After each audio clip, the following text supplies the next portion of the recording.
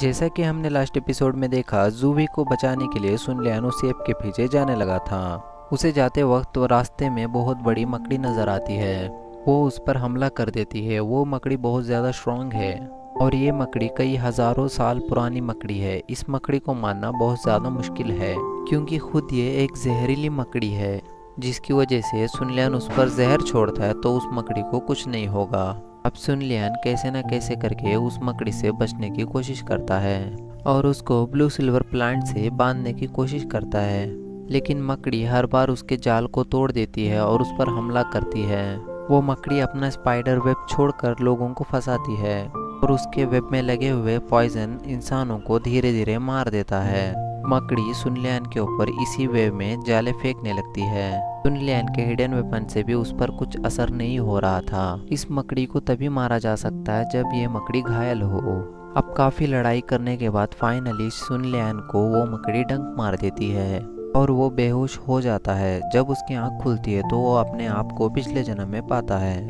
अब वो tank set में वापस आ चुका है और वहाँ पर पुराने वाले ही एल्डर्स मौजूद हैं। वहाँ सुनलियान खड़ा होता है। उसे पिछले जन्म की बातें कोई भी याद नहीं होती। उसे याद ही नहीं होता है कि जूवी कौन है और श्रेक स्कूल क्या है और वो कहाँ रहता था। और फिर वो वहाँ के बाकी लोगों से बात करता है और उनमें घुल मिल जाता है। लेकिन तभी वहाँ पर एक आदमी कुछ शब्द बोलता है जो कि जूवी बोला करती थी। अब सुन सुनलियन को विजन्स आने लगते हैं और उसे धीरे धीरे सब कुछ याद आ जाता है कि वो यहाँ का नहीं है, वो तो मर चुका है। और वो दूसरी लाइफ में, दूसरी दुनिया में था। वो समझ जाता है कि वो यहाँ से बिलोंग नहीं करता, इसीलिए वो फिर से सुसाइड करने का सोचता है। एल्डर्स उसे ऐसा करने को ना कहते हैं और उसे कहते हैं कि तुम चाह सकते हो तो यहाँ रह सकते हो। लेकिन सुनलियन को जूवी को बचाने के लिए वापस जाना था। और फिर वो सुसाइड कर लेता है और उसकी आँख फिर से वहीं खुलती है, जहाँ वो मकड़ी से लड़ रहा था। असल में वो बेहोश हो गया था। इसलिए वो सपना देख रहा था। वो होश में आकर अपने आप को स्पाइडर वेब से छुड़ाकर जूवी को याद करते हुए अपने हैमर से उस पर अटैक कर देता है। उस अटैक से मकड़ी बहुत ज़्यादा कमज़ोर हो जाती है। उसके बाद सुनलियान अपने हिडन वेपन्स को यूज़ करते हुए उसे मार गिराता है। सुन लियान अपनी सोल पावर को इस्तेमाल करने की वजह से बहुत ज़्यादा पार्ट ड्रेन हो चुका था, जिस वजह से वो मेडिटेट करने के लिए बैठ जाता है। तभी वहाँ पर दादी और पोती आ जाते हैं। इस बार दादी के साथ दादा भी थे। वो दादा दादी उसके पोती के लिए इस मकड़ी को ढूंढ रहे थे। लेकिन आज दूसरी बार पोती का शिकार सुनलियान ने छीन लिया है। ये देखकर दादा और दादी को बहुत ज़्यादा गुस्सा आता है। हालाँकि वो मकड़ी बहुत ज़्यादा स्ट्रॉन्ग थी उसको मारने के लिए दादा और दादी को फुल स्ट्रेंथ में लड़ना था जबकि सुनलियन ने इसको अकेले ही मार गिराया था। ये देखकर दादा बहुत ज़्यादा शौक होते हैं ले, लेकिन उनके पोती के गुनेगार को इस तरह जाने नहीं दे सकते थे। दादा दिमाग चला के उसके सामने दो शर्तें रखते हैं। पहली शर्त में सुनलियान को ज़िंदा छोड़ देंगे। इसके लिए सुनलियान को उनके परिवार में शामिल होना होगा। दूसरी शर्त में, पहली शर्त को नहीं मानेगा तो उसकी पोती के गुनेगार में वो मारा जाएगा। अब सुन लियान, उनकी पहली चॉइस को मान जाता है, जिसमें पहले उनके सामने एक शर्त रखता है और वो कहता है कि मैं आपके परिवार में शामिल हो जाऊँगा, लेकिन मुझे मेरे साथ चलकर मेरी मदद करनी होगी और जूवी को जाइंट एप से बचाने में मदद करनी होगी। अब जाइंट एप का नाम सुनकर दादा और दादी दोनों मदद करने के लिए मना कर देते हैं। क्योंकि जाइंट एप बहुत ज़्यादा शक्तिशाली है। इस सोल लैंड का सबसे बड़ा योद्धा भी उसको नहीं हरा पाएगा। इसलिए वो उसकी शर्त को ठुकरा देते हैं। जिस पर सुनलैन कहता है कि, तुम मेरी शर्त नहीं मान रहे तो मैं तुम्हारी शर्त क्यों मानूं? और मैं तुम्हारे परिवार में शामिल नहीं होऊँगा। ये सुनकर दादा को बहुत ज़्यादा गुस्सा आ जाता है और उससे लड़ने के लिए आगे बढ़ते हैं, लेकिन तभी वहाँ पर मिस्टर जाओ सारे स्टूडेंट के साथ वहाँ पर आ पहुँचते हैं और उनसे बातें करके उनको समझाने की कोशिश करते हैं। कहते हैं सुनलियन ने अपनी जान बचाने के लिए इस मकड़ी को मारा था। जब दादा नहीं मानता तो मिस्टर जाओ दादा को अकेले में ले जाकर बात करने लगता है और उसे कहता है कि सुनलियन ग्रैंड मास्टर का डिसाइबल है। ग्रैंड मास्टर का नाम सुनकर दादा बहुत ज़्यादा शांत हो जाता है क्योंकि ग्रैंड मास्टर की बहुत ज़्यादा इज़्ज़त करता है। अब दादा सुनलियान को बिना कुछ बताए वहाँ से जाने लगता है। ये देखकर उस, उस पोती को अच्छा नहीं लगता क्योंकि वो सुनलियान से बदला लेना चाहती थी इसीलिए वो उसको चैलेंज करती है। अगर तुम इस बार जीत गए तो तुम इस सोल बिस्ट की सोल को हासिल कर लेना। अब सुन उसके चैलेंज को एक्सेप्ट कर लेता है। लेकिन तभी वहाँ पर एलेक्स आकर कहता है कि इस चैलेंज में एक और चीज़ ऐड करनी होगी। वो इस चैलेंज में एक और चीज़ ऐड करता है, जिस पर सुन लियान अगर जीत गया, उसके अकॉर्डिंग पोती को किस करना होगा।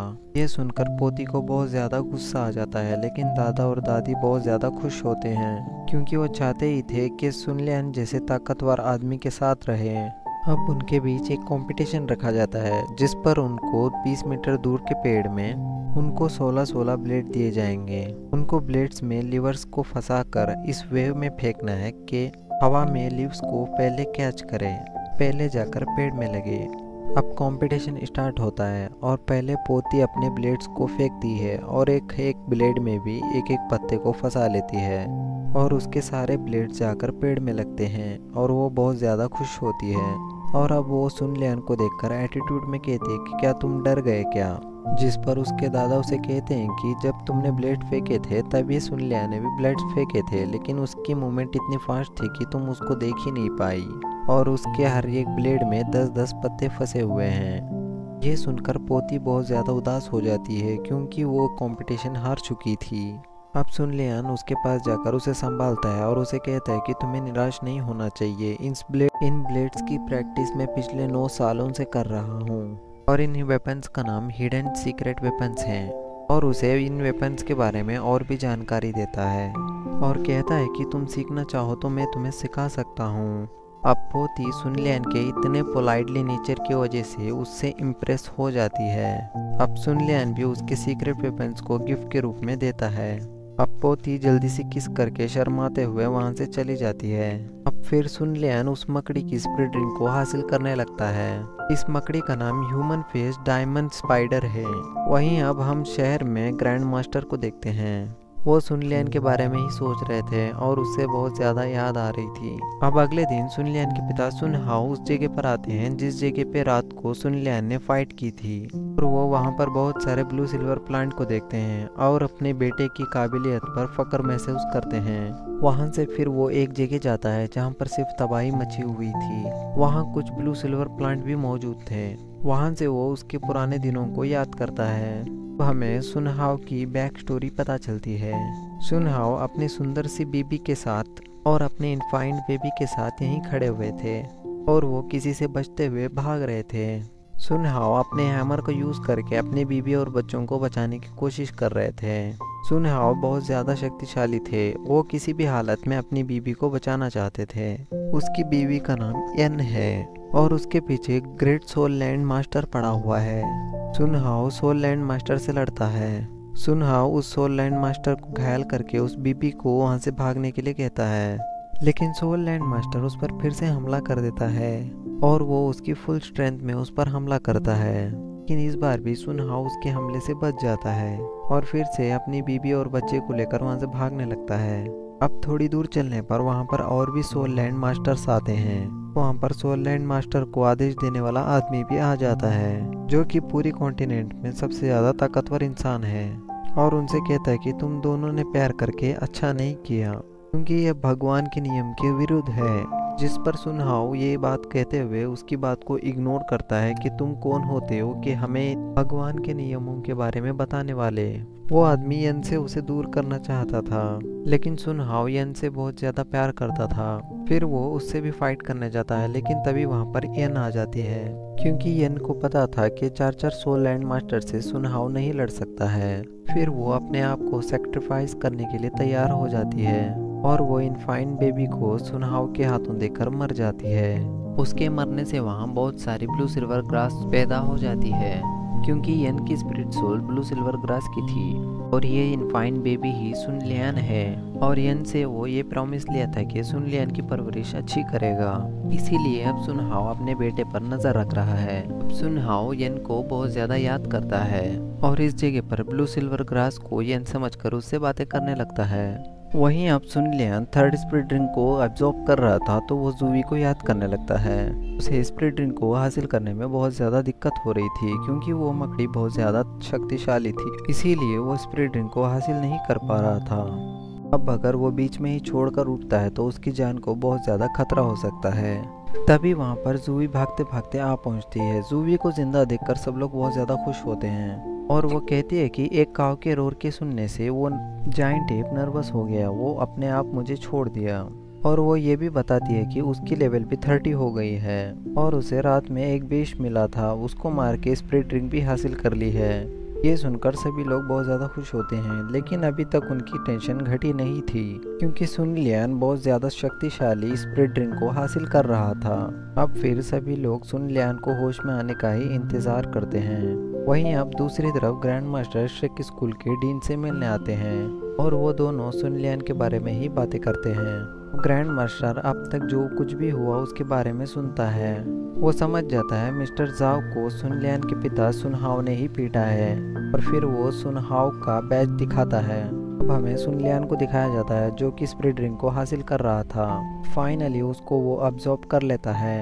ये देखकर सब लोग बहुत ज़्यादा खुश होते हैं। लेकिन तभी सुनलियान म्यूटेट होने लगता है और उसकी कमर में से मकड़ियों जैसे टेंटिकल्स बाहर निकलने लगते हैं। डॉक्टर जाओ समझ जाते हैं कि एब्जॉर्ब करते समय मकड़ी और ये म्यूटेट हो गए हैं और अब सिचुएशन वर्स्ट होने वाली है। अब ये सुनकर सारे बच्चे डर जाते हैं और इसका सोल्यूशन पूछते हैं। इस पर मिस्टर जाओ सिर्फ़ एक सोल्यूशन बताते हैं, जिस पर कहते हैं कि उन्हें सिर्फ़ वेट करना होगा। अब सुन लियान फिर से बेहोश हो जाता है। सबसे पहले तो उसे जूवी की ही याद आती है। उससे दूर जा रही थी और वो फिर से पिछले जन्म में पहुँच जाता है। जहाँ अब हमें यह पता चलता है कि, कि आखिर पिछले जन्म से उसने उस सीक्रेट टेक्निक को क्यों चुराया था। असल में सुन लियान को अलग अलग टेक्निक्स को पढ़ने में और जानने में बहुत ज़्यादा शौक था। वो अलग अलग टेक्निक्स और वेपन्स पे रिसर्च करना चाहता था। वो अपने भी कई सारे वेपन्स बनाया करता था। लेकिन उसके इस टैलेंट से वहाँ पर कोई कदर नहीं किया करता था। उसके साथ में रहने वाले बच्चे उसके वेपन्स को देखते तक नहीं थे और उसके सामने ही उसकी बुराई करके उसके वेपन्स को तोड़ दिया करते थे। जिस वजह से सुनलियान फ्रस्ट्रेट रहा करता था। सुनलियान और भी कुछ बड़े टेक्निक और सीक्रेट्स को जानना चाहता था। वो एल्डर से सीक्रेट वेपन के बारे में सीक्रेट लाइब्रेरी से सीक्रेट टेक्निक्स को पढ़ना चाहता था। ये सुनकर एल्डर्स बहुत ज़्यादा गुस्सा हो जाते हैं, क्योंकि उन सीक्रेट टेक्निक्स और सीक्रेट वेपन्स के बारे में पढ़ने के लिए और जानने के लिए किसी को इजाज़त नहीं थी और उससे बहुत ज़्यादा गुस्सा करते हैं और उसे इस क्लाइन से निकल जाने को कहते हैं और ये एपिसोड यहीं ख़त्म होता है।